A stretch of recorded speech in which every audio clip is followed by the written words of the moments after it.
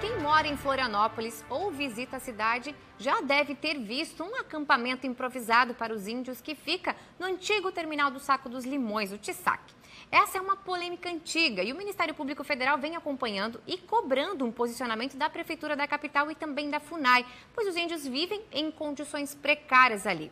Agora, a Justiça Federal, através do juiz Cras Borges, condenou a capital e também a FUNAI a pagar multa por terem agido de má fé pela falta de informações e por não terem cumprido com as exigências determinadas pelo Ministério Público. A repórter Júlia Matos tem os detalhes. Boa tarde, Júlia. Conta pra gente.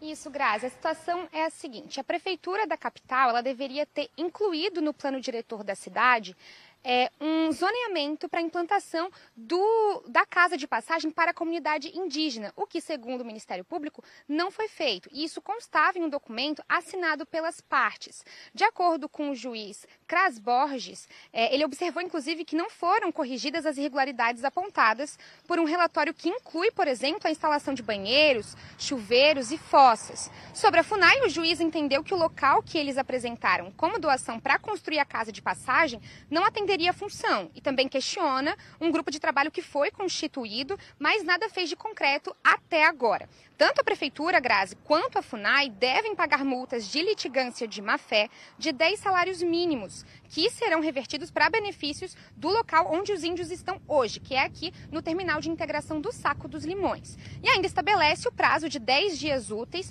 sob pena de multa de 100 mil reais, para que sejam feitas as melhorias. Em nota, a Prefeitura de Florianópolis informou que não foi notificada sobre a decisão e que deveria recorrer dessa decisão. Já a FUNAI, também em nota, disse que não vai se manifestar quanto à decisão judicial.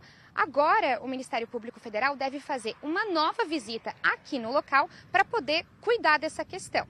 Até então, essas são as informações. Grazi, vou voltar com você no estúdio. Tá certo, Júlia. Obrigada pelas informações e, claro, a gente segue acompanhando mais esses desdobramentos.